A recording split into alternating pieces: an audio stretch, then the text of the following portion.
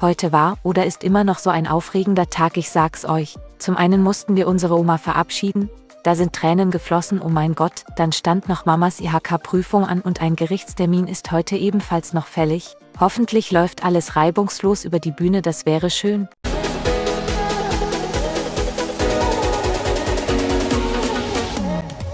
Nachdem Papa heute Morgen Oma zum Flughafen gefahren hat und anschließend auf die Arbeit gefahren ist, hat er ganz gespannt auf Mamas Anruf gewartet, ob sie ihre Abschlussprüfung bestanden hat. Um 14.30 Uhr dann der erlösende Anruf. Mama hat mit einer guten 3 ihre Abschlussprüfung bestanden. Papa war so glücklich und euphorisch, er hätte sie am liebsten durchs Telefon abgeschlabbert. Der hat sich so gefreut, ich sag's euch. Mama kann auch ganz schön stolz auf sich sein. Trotz ihrem Autounfall und den zwei Operationen hat sie alles mit Bravour gemeistert. Jetzt steht nur noch die Rückmeldung von ihrem Anwalt aus, ob sie ihren Fall gewonnen hat oder nicht. Die Alte sitzt so auf heißen Kohlen, ich sag's euch. Die läuft von einer Ecke zur anderen wie so ein HB-Männchen. Vor circa einem Jahr ist so ein Penner an Mamas geparktes Auto gedotzt und dann hat er auch noch Fahrerflucht begangen, aber zum Glück gab es Zeugen, die es gesehen und Fotos gemacht haben. Lange Rede, kurzer Sinn. Der Fahrer wurde ausfindig gemacht, er hat sich entschuldigt und gemeint, er hätte es nicht bemerkt. Ja, ja, wer es glaubt, wird selig. Naja, egal, Mama hat dann ein Gutachten erstellen lassen und das wurde der Versicherung übermittelt.